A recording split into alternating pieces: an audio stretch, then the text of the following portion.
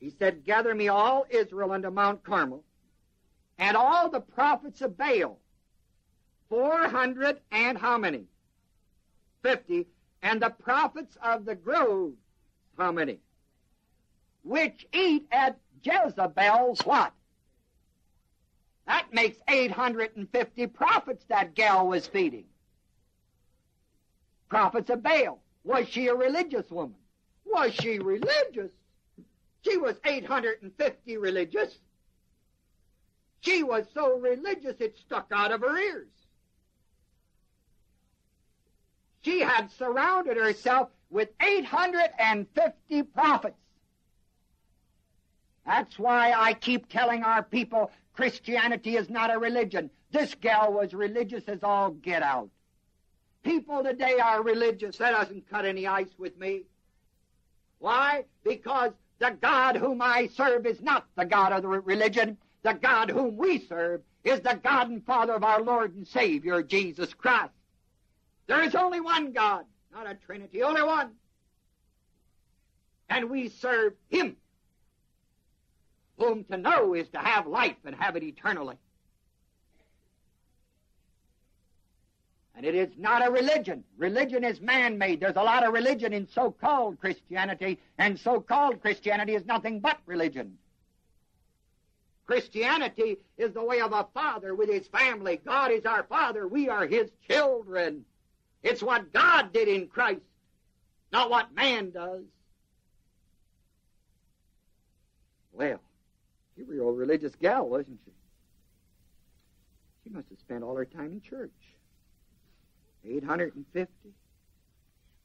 So Ahab, verse 20, sent unto all the children of Israel and gathered the prophets together unto Mount Carmel.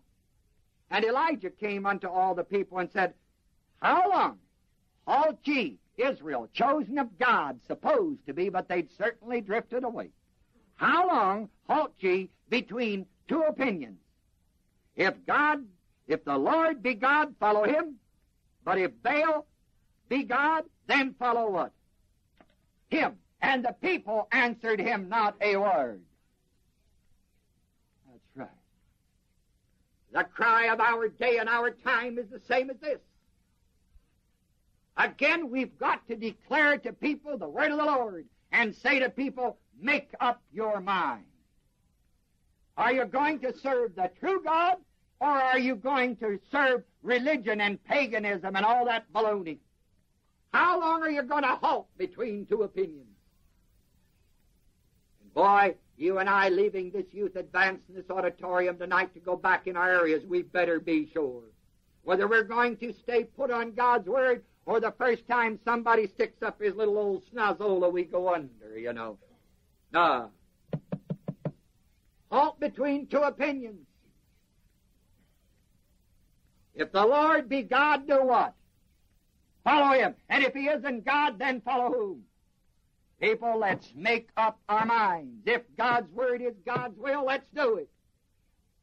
And if it's not God's word and it's not God's will, let's chuck it. Let's not play in on the misty flats, trying to hold both ends to the middle. You can't. It's like trying to climb an electric fence that's charged all the way through, and it's on top of a seven foot other fence, you just can't get over it without touch. Then said Elijah, verse 22, unto the people, I, even I only remain a prophet of the Lord. I'm the only one here that's a prophet of the Lord, but Baal's prophets, 450. Let those fellows then, therefore, give us two bullocks, and let them choose one bullock for themselves and cut it in pieces, lay it on the wood, put, put no fire under it, however, and I, the man of God, the prophet of God, will dress the other bullock, and lay it on wood, and put no fire under, and call ye on the name of your gods, and I'll call on the name of the Lord. And the God who answereth by fire, let that one, or let him be what? God. Okay. We're going to have a contest. A little do. D double O. Long O. And all the people, and all the people answered and said, That's well spoken. You know why they said this? Because of the odds. 450 to what? One. You add the other 400 who'd sit around and pray, you know, you'd have 850 to one. I want to tell you, if you had that at a horse race at the Kentucky Derby and you were on the winning side, you'd make some money. The odds were 850 to 1, wouldn't you?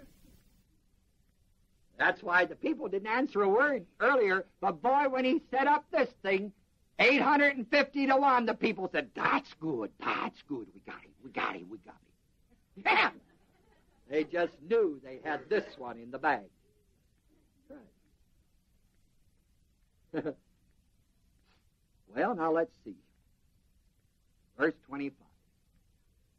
And Elijah said unto the prophets of Baal, Choose you one bullock for yourself, dress first, you're going to call the name of your God, but put no fire in it. And they took the bullock which was given them, they dressed it, called the name of Baal. How long? From morning even until noon. That's a pretty long call.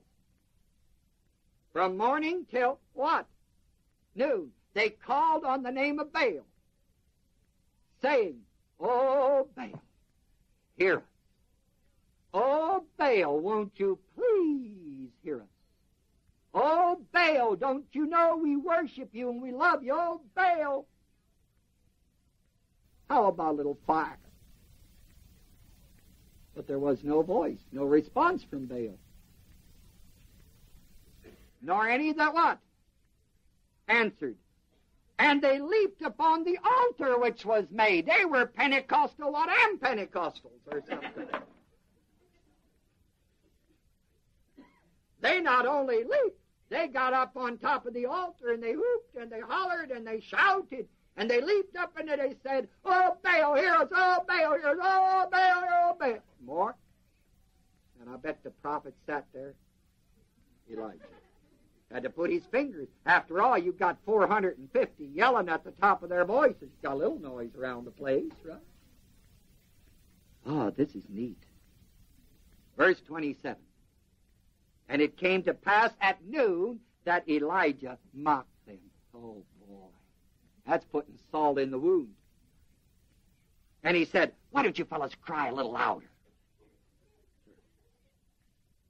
For he is a God, or maybe he's talking to someone and he can't hear. Yell a little louder. Or he is pursuing. He's out for a walk. Spazieren gegangen, you German people. You know, a nice little, a, ni- a nice little walk with his buddies, you know, he can't hear you. Yell a little louder. Or perhaps he just went on a trip to Europe, took a journey. Or maybe he's sleeping. And you have to wake him. This is why in so called Hindu temples, you know, every time you enter the temple, you ring the bell. That tells the God you're coming, it's time for him to wake up. And what, yeah, sure it's true. And when you leave the temple, you ring the bell and tell him he can now go for a walk or he can rest because you've left. To this day, all over. That's why this is just like it's written today, people. Maybe God's sleeping, you ought to yell a little louder. Used to be I'd go to meetings, you know, I've been with people who'd pray for one hour and a half and they'd get real, you know, sort of effervescent on the situation. And of course, I didn't know any better then either. But I thought you had to pray long and loud and hard till you got worn out, so God know you were worn out, then you were humble enough maybe to come and do a little bit. Later on, I learned that we talk so long and so loud because we believe so little. See? Well, they talked long and loud, didn't they? You know what else they did? Verse 28 they cried aloud and they cut themselves, even with knives, showing that, boy, we're letting out our blood for you, Baal. And lancelets till the blood gushed out upon them. And it came to pass when midday was past. And they what? Oh boy, they even were they religious? Why sure, they were prophets of Baal, as religious as you could get. They washed their hands at the right time and their feet, and they had everything just in perfect order, candles, everything beautiful. Huh. They did this until the time of the offering of the evening sacrifice, that there was neither voice nor any to answer, nor any that regarded. Not one thing happened.